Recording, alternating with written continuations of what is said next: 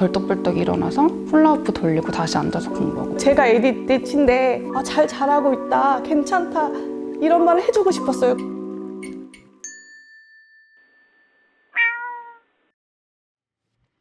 저는 공부를 하면은 한 20분에 한 번씩 벌떡벌떡 일어나서 밖에 나가서 무조건 이렇게 걸으면서 공부를 지속했거든요. 가만히 있기가 너무 힘들어서 훌라후프 돌리고 다시 앉아서 공부하고 벌떡벌떡 일어나서 뛰고 오고 좀 저 나름대로의 노력이 있었던 것 같기는 해요. 성적표를 봤을 때 과목 간의 기복이 굉장히 커서 뭐 어떤 과목은 20점, 어떤 과목은 98점 이게 중고등학교를 넘어서 대학교, 대학원까지 지속이 되더라고요. ADHD가 가진 강점 중에 하나가 자기가 관심이 있는 거에는 과몰입이라고 좀 다른 사람의 말도 잘 안 들리고 주의 전환도 안 되고 이거에만 몰두할 수 있는 힘이 있거든요. 그걸 느끼고 나면 이걸 좀 통제하고 조절할 수 있는 힘이 생기는 것 같아요. 아, 지금 이 순간이 왔구나. 내가 고몰입할 수 있는 순간이 왔구나. 했을 때 몰아서 공부를 했던 측면도 있었고, 제 생각에 ADHD는 지능과 관련이 없어, 없어요. 그런데 주의력이 결핍이 돼 있다는 거잖아요. 그러면은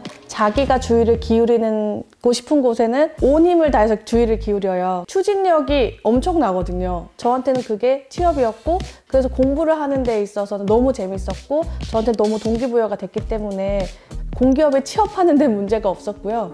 제가 늦게 진단을 받으면서 가장 강렬하게 느꼈던 게 억울감이었거든요. 세상의 모든 질병들이 그렇듯이 좀 정신장애도 남아들, 남자들 위주로 연구가 많이 되어서 여자들이 좀 편견을 받거나 배제받은 경우가 많은데 ADHD도 사실 저는 같은 맥락에서 여자아이들이 좀 진단이 덜 되고 있다고 생각을 했어요. 그래서 아, 내가 조금 더 빨리 알았으면 더 잘할 수 있었는데 내가 이거보다 더 나은 위치에 있었을 수 있을 텐데 라는 생각이 들어서 한 명이라도 더 빨리 저 같은 사람을 좀 구제하고 싶다 빨리 끌어올려주고 싶다라는 마음이 있었고 또 한편으로는 ADHD가 아니더라도 누구나 결핍은 있잖아요. 근데 결핍을 이렇게 끌어안고도 나은 삶을 살 수 있다. 이 결핍에 너무 매몰되지 않았으면 좋겠다라는 생각이 있었어요.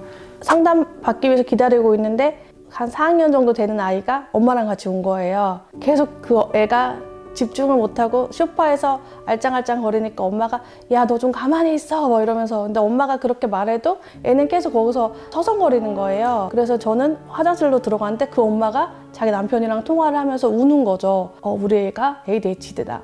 근데 무슨 세상 끝날 것처럼 어떡하냐고. 얘 이제 어떻게 잘하냐고.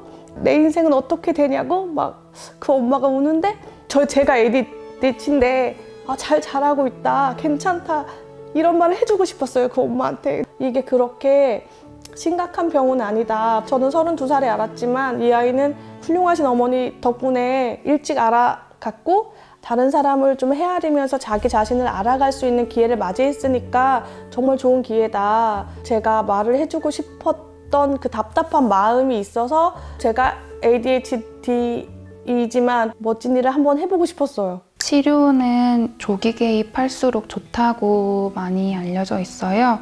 약물을 먹었을 때 효과 관련해서 부주의 증상보다는 뭐 과잉 행동이나 충동성 관련해서 더 효과가 좋은 것처럼 보여요. 그래서 아무래도 밖으로 드러나는 행동이 좀 수정이 되다 보니까 주변 사람들의 피드백도 좋아지고 그러면 자신의 좀 동기도 올라가서 좀 노력할 수도 있게 되는 측면이 있는 것 같고요.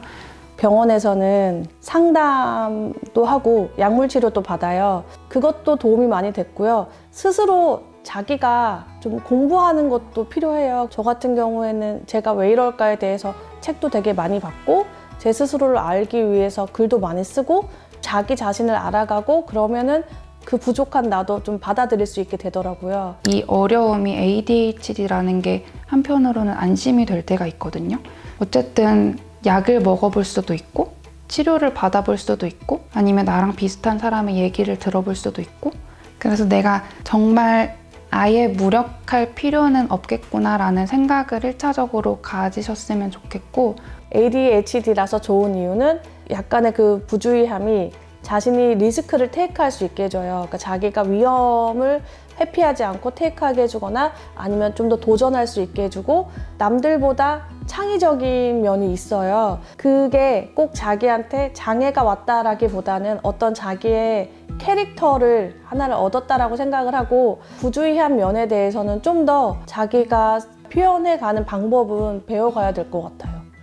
매끈한 돌도 거친 돌도 다 쓰임이 있다고 하잖아요. 꼭 그렇게 체계적이거나 오거나이즈드가 잘 된 사람만 사회에서 인정받는 게 아니라 너같이 특이하고 개성 있는 사람도 충분히 필요한 구석이 있고 맞는 데가 있을 거다. 분명히 있다. 이렇게 응원해 주면 좋을 것 같아요.